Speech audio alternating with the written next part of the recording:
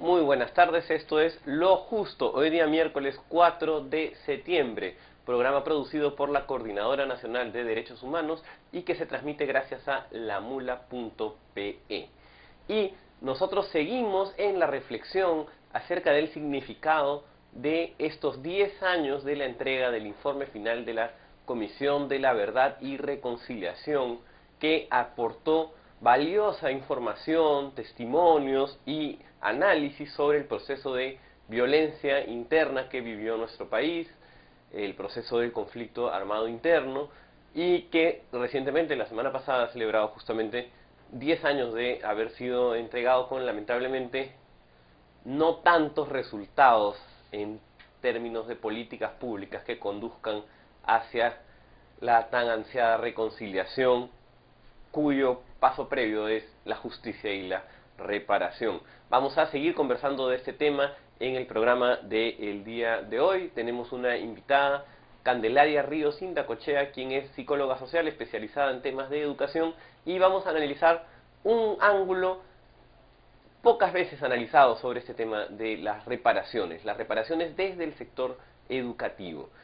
Y eh, también vamos a compartir con ustedes un video de una campaña que ha lanzado Amnistía Internacional justamente con el mismo motivo del informe de la CBR alrededor del tema de los desaparecidos. Pero antes, un par de comentarios de coyuntura muy rápidamente. Eh, como sabemos, el Grupo de Comercio ha ingresado a EPENSA, a otro de los grandes grupos de, los, de la prensa peruana. Tenemos ahí creo una infografía a la mano que muestra el grado de concentración al que está llegando la propiedad de la prensa en el Perú de, a partir de esta compra. En realidad no es compra, sino es el financiamiento de la compra de un grupo de acciones. Pero obviamente eso implica poder. Y estamos viendo que ahora el, grupo de comercio controla casi el 80% de la venta de periódicos, lo que implica serios, serias preocupaciones con respecto a la pluralidad de la información. Segundo comentario, muy rápidamente, no podemos quedarnos callados cuando existe la seria posibilidad de que el conflicto interno que vive Siria se convierta en un conflicto armado internacional con la intervención de los aviones y las bombas de Estados Unidos.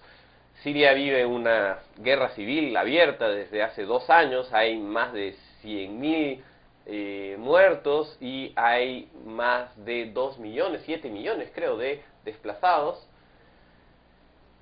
Y esta situación no va a mejorar gracias a las bombas norteamericanas.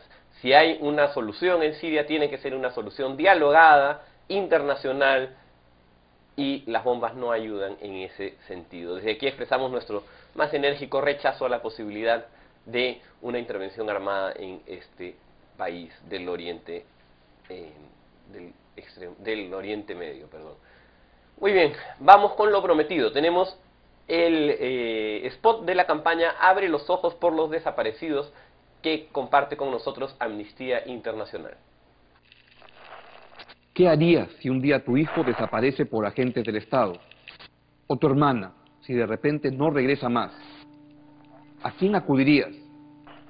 Hoy en el Perú si un familiar tuyo sufre una desaparición forzada, tú no puedes solicitar su búsqueda ante el Comité de la ONU.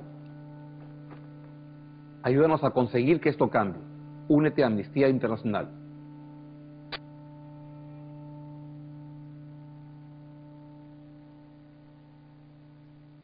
Como hemos comentado más de una vez en este programa, efectivamente la problemática de los desaparecidos es gravísima.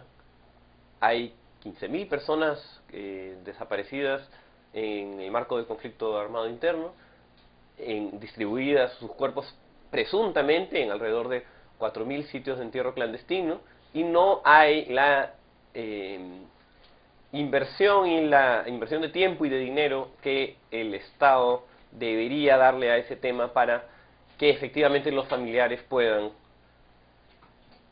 finalizar su proceso de duelo. Hemos visto otros casos de desaparecidos famosos en los cuales con justa razón los padres de familia han realizado una intensa búsqueda y los medios de comunicación han sido importantes en este proceso. Sin embargo, los desaparecidos durante el periodo de guerra interna siguen desaparecidos. Es uno de los temas que no podemos olvidar y la campaña de Amnistía Internacional en este caso muy pertinente como uno de los puntos fuertes en, este, en esta conmemoración de los 10 años de la entrega del informe de la Comisión de la Verdad. Y para hablar también de la entrega de este informe y de las tareas pendientes en eh, justicia, reparación y reconciliación, nos acompaña Candelaria Ríos. Muchas gracias Candelaria por estar aquí. Ella es psicóloga social y especializada en temas educativos. ¿Cómo estás, Candelaria? Muy bien, Paul, gracias por la invitación a, la gente de lo justo. Diez años de la entrega del informe. ¿Cómo ves en términos generales esta situación, este, este tema pendiente de la reconciliación? Sí, bueno, hay varios temas pendientes, ¿no? O sea, el primer tema, lo que acabas de mencionar, el tema de los desaparecidos, el tema del acceso a justicia, eh, viene dándose de una manera sistemática que los últimos juicios que se están dando durante este gobierno y también durante el gobierno anterior, a excepción del megajuicio Fujimori, van absolviendo a los autores o, y creando una como un sentido común de que hubieron excesos, que es siempre el argumento de, de algunos sectores de las Fuerzas Armadas, y no el reconocimiento de que hubo delitos, ejecuciones extrajudiciales, eh, que deben ser sancionados. Entonces, ese es un primer problema. Y hay una resistencia a incorporar nuevos casos para su judicialización, como es el tema de las esterilizaciones forzadas, como es el tema de, eh, de, las violaciones sexuales, exactamente. ¿no? Entonces, hay esa resistencia y también una falta de cumplimiento de, las, algunas de las sanciones, sobre todo en cuanto a las reparaciones eh, económicas de los sentenciados. ¿no? Después veremos lo de las reparaciones económicas